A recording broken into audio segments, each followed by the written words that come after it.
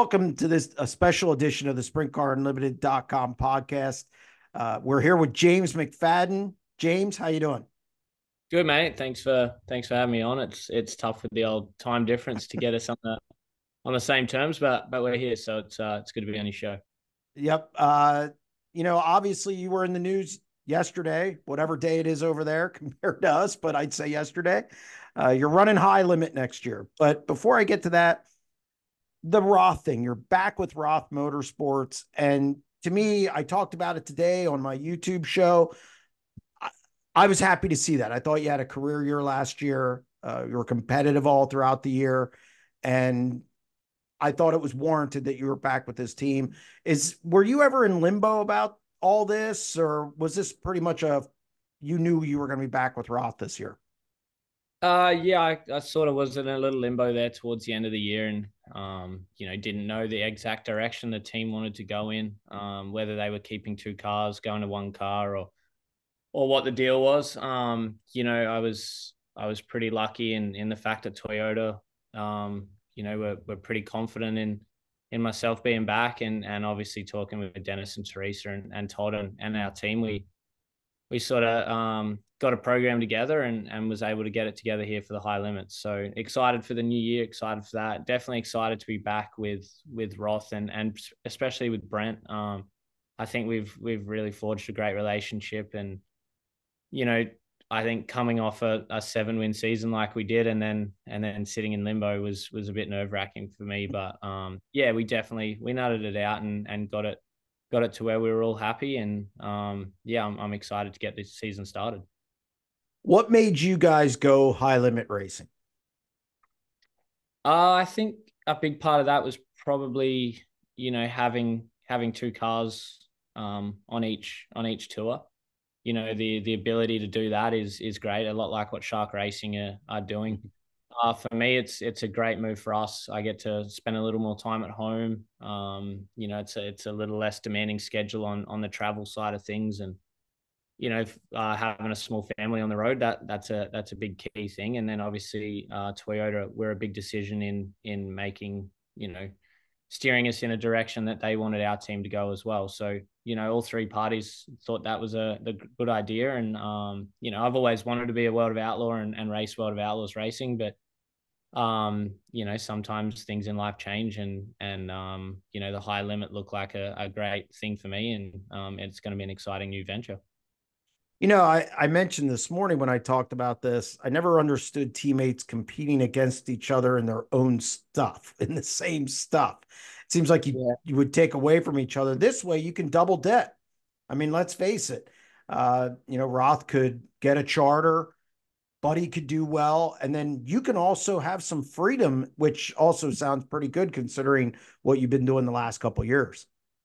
Yeah, absolutely. I think um, as a two car team, it's a no brainer. Um, do I think two car teams work together in, in the same series? It's it's questionable at times over 85 races. Um, you know, Brad and I were were really close as teammates. Um, but we still had a couple times where we where we wanted to headbutt each other and um, you know, no doubt Buddy and myself would have been the same way. We we seem to line up and race each other every every night. There, the last you know, sort of thirty races. So at some stage, you're gonna you know you're gonna run into some issues, and um, you know, this way we're we're gonna still be able to be hundred percent um gassing it up and not having to worry about each other and uh you know, we're going to still work together closely. I, I feel, um, you know, I, our teams get along really well, and Dylan and Buddy and, and myself and Brent. So, yeah, there's no doubt we'll be sharing information and, and helping each other get down the road. But you know, there's there's times we are still race car drivers and competitors and, and teammates at just a, another person strapping a helmet on. So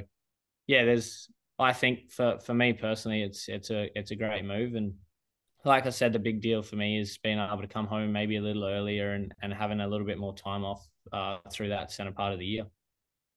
About Toyota, uh, how's the motor been? How's this whole project progressed. I I, I saw improvement last year. I know you're you're a motor guy. I mean, that's what what you did back home. Uh, where's this program at, and are you are you pretty pleased with with where they're at in a pretty short amount of time? Yeah, absolutely. Um, you know, there's always highs and lows with with developing something. It's like they just grab the program from you know the NASCAR or a little bit of program from here and there. They've had to develop something from from scratch. So there's always going to be some teething issues, and you know they've they're all in, they're 100 percent in, and and I feel like they're on top of you know most things. It's uh, it's a beautiful engine to to race. Um, I think my qualifying and my half mile stuff this year is has really stepped up from where it has been in previous years. And, you know, Brent's done an awesome job on my car. And, you know, there's times where I think my engine has has got me a little further down the straightaway and um, made a little bit more speed than than in previous years. So yeah, definitely um, you know, proud to be a part of it. I've I've really enjoyed putting the engine engine builder cap on a few nights and and figuring stuff out and you know, had to use your head a little bit different um, as a driver as well in times. And, you know, my relationship with TRD and, and those guys has, has been has been really good. They've they've allowed me to bring a couple down here to Australia and we've been running them here and being able to back to back, you know, engines in Australia where I've grown up and know exactly what gear and fuel and things that I do, you know, for the last 10 years over here to to do that here and then, you know, sort of be able to change things around and make it see if I feel like a, a really big difference has been great. And I think there are they're going to be something that a lot of teams are going to have to look at um, pretty closely here shortly. I think. So you're back in Australia. How's the swing been being at home? How's how the results been? I know obviously you would have liked to win the classic. Everybody down there wants to do that. But uh, how's the swing been? What's it been like being home for you? Uh, results wise, absolutely terrible, mate. Um, you know, we we've been in the hunt every night. I think we've been in the top, you know, top three cars uh, every night. Um, just haven't got a result to to finish it off. I've been been building a lot of lot of parts and cars and wings and stuff. It's actually been been a little stressful to be honest. Um, there hasn't been much of a holiday here the the last or vacation, sorry. Um, hasn't been much of a vacation here the last the last couple weeks. So uh, car's been good. Um, obviously have a really great team and great sponsors in Napa and, and obviously with Toyota. So it's been fun. Um, hopefully, so we race tonight for the Australian title and um, Saturday night uh, is the big one here. So yeah, excited to get that going. Obviously, I've started to run out of a few few parts, so I'm for a clean weekend. But yeah, classic was disappointing, mate. But that's racing. That happens. Um, yeah, we just we just seem to put ourselves in great positions and and haven't finished it off. But being home's great, uh, hanging out with family, and you know Mav gets to play with his cousins and um, hanging out with grandma and grandpa and nan and pa and, and, everyone that he doesn't get to do through the whole season over there. So yeah, really enjoy being home. Um, you know, the racing kind of sometimes gets in the way of of Mav and, and our little time, but we we still enjoy racing for sure. So when do you? So you'll be back for obviously East Bay. Are you yep. going to be back for Volusia as well? no, no, we're we're no Volusia this year, and then straight into East Bay. Um, which which I'm cool with. Uh, that gives us a couple weeks to to sort everything out back home, and you know I don't think people realize how uh, how hard it is to get over there. You know, with visas and things like that, it's it's actually really really difficult, and um, you know, to get all of those, you know, even little things like bank accounts and tax and all that sort of stuff done and, and finished in Australia by the time I go over there because you're never home. Um, so yeah, it's it's it's not too bad having a, a couple of weeks off there to, to, you know no sprint car racing and, and a couple weeks to just get everything dialed in and and set up for you know for those nine months that we're away. So we have a little incident over here with Lincoln Speedway going to no flagman, and you're the perfect guy to ask because everybody wants to point to Perth Motorplex uh, over in Australia as the track that's made this virtual deal work without a head flagman. And yet, my contention is you can't compare the two because Perth is run by the government. I mean, can you explain that over there and how that works and how maybe Perth can pull this off with the people they have in place. Yeah, so I I uh I'm on the fence with it to be honest with you. I don't really mind either way, but um Perth you know, it's probably going to annoy some some people, but Perth is the best and nicest facility in the world when it comes to sprint car tracks. Um, there is not one place that even compares to to how well um, it's maintained, how it's looked after, how it's presented. Um, I, in my opinion, anyway. Um, and I'm sure a lot of a lot of people will will agree to with me. Uh, so I think they're in the forefront of of things, whether that's you know they're on live TV with um on oh, Seven yeah. Mate.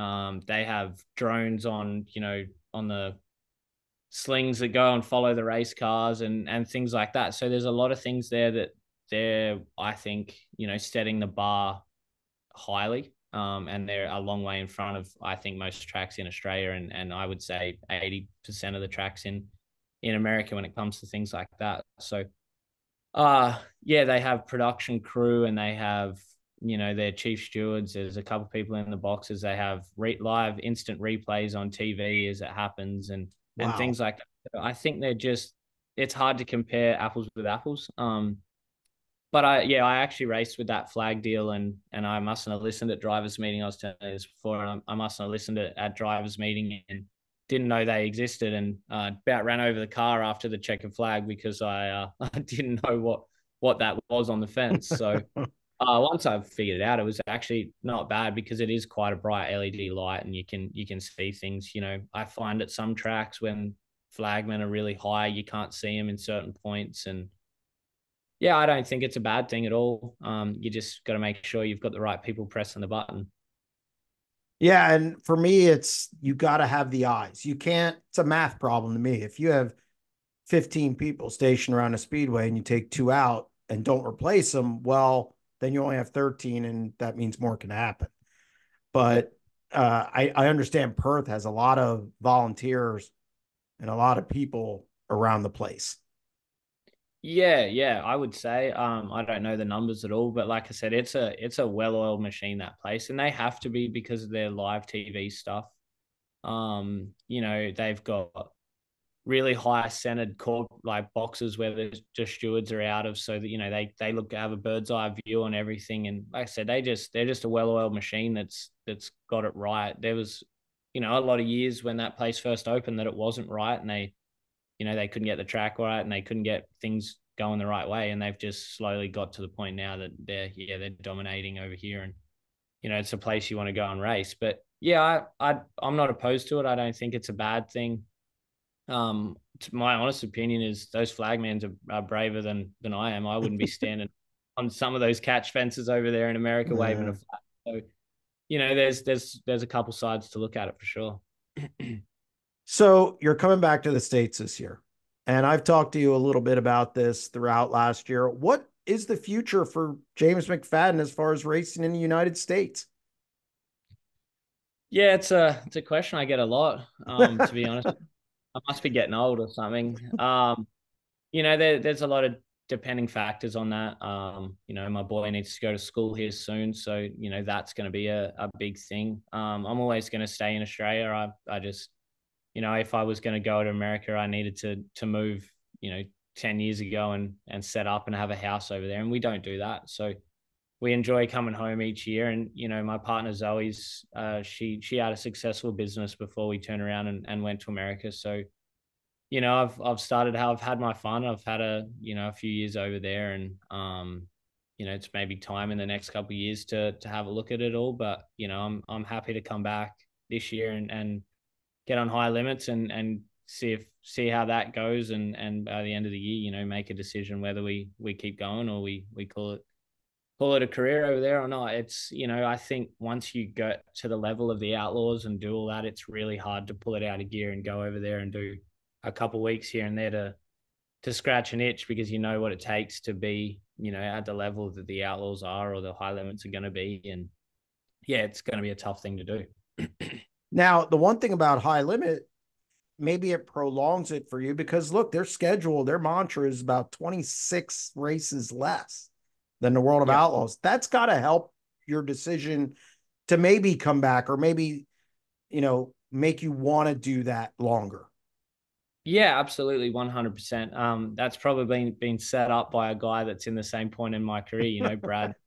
I'd yeah. probably sick of running up and down the road. Um, you know, I'm I'm quite new to the whole outlaw scene and and going up and down the road, but I've been doing this, you know, in America for the last 10 years, traveling from home for for four or five months or six months. And, you know, so technically I've been doing the the outlaw thing for for quite a while, but not the actual swing. But yeah, I, I think that will that'll change. I think the whole dynamic will be different on the road this year, and um, you know that's that's the thing I'm looking forward to and excited for. But yeah, being able to come home a little more was would definitely help out, and um, you know, I just I don't see the necessity in having to be on the road from you know February to November when we you know sit around. It's it's a little different for Zoe and myself and Maverick. We we don't have a house, so we you know when we're not on the road, we're still on the road essentially in the moment. We're not, you know, we don't have a house to go back to or a shop or something. So yeah, for us, I think that that downtime is going to be nice. You know, we might be able to shoot home a couple times through the year, and I think if if we do that, we we might prolong the career a little longer.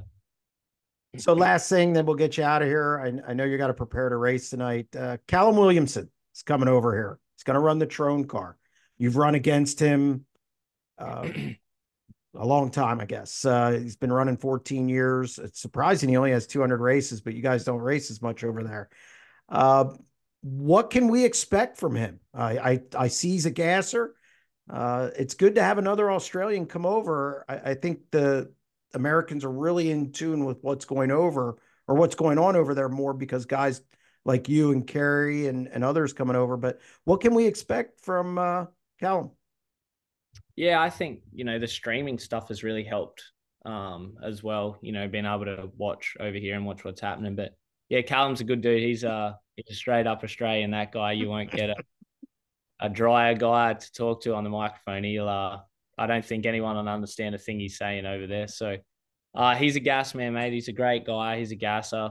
Um, you know, I think he'll he'll have his challenges definitely over there with some of your tracks you've got. Um, the Perth Motorplex is is very get up against the fence and you know and sort of run it as hard as you can. So Lincoln will Lincoln will get him. Um, you know when you have to start getting technical, but he'll he'll adapt. Um, he's a good guy. He's a good racer. Um, he's gonna. I hope he does really well, mate. I really do. Um, he's like I said, he's got a really cool family. He's a lot like Zoe and myself. They got a they got a little girl, and um, you know it's gonna be fun to to see see how he ends up. I, I hope they, you know, I hope they do well. Um, you know, I've got to thank Trones for putting another Australian in there. I think that's um, that's pretty special. It's hard to get over there, and, and another thing is, I don't think people realize how hard it is to get a ride in America, um, being Australian, and for Callum to be able to get that um, that opportunity is great. So thanks to them, and um, I look forward to seeing his progress over there. I, I can't wait to see him at, at some of these places, and